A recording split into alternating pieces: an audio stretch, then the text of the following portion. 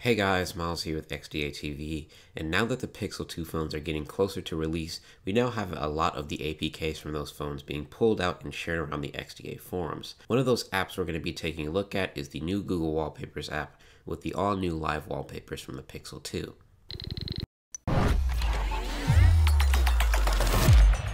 Now there will be two versions of this that you can download, one made for Oreo devices and one made for devices with Android 6.0 and up. There's a bunch of new live wallpapers here, so let's take a look at them.